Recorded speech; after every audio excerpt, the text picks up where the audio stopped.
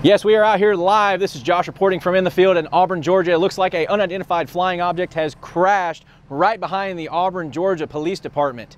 Uh, luckily enough, though, there is uh, no problems. The local fire department and the local police department have been working the scene and they have deemed the scene safe. Luckily, we have a resident expert here uh, that we can talk to, Sergeant Marc Pharr with the Auburn Police Department. Uh, we're going to ask him a few questions and see if we can find out what's going on.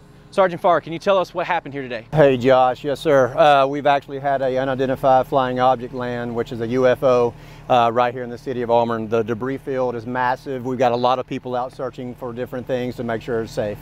Sergeant Pharr, has this ever happened before? You know, Josh, actually it has. This is not the first time that a UFO has crashed on Earth, believe it or not. And I actually have top secret information uh, that kind of tells you what happened. You're hearing it here live first on KBTV Channel 6 News. Top secret information coming in. I've had this for a long time, Josh. This book is written by Henry Winkler and Lin Oliver. It's called The Alien Superstar. Let me tell you about it right quick. A 13-year-old alien named Buddy. He's got six eyes, pretty cool looking.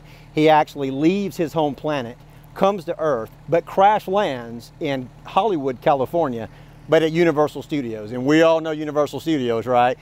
King of the movies and TV shows. Well, they see him, they cast him, so now he's a famous movie star. So they think he's great, but they think he's just in a costume.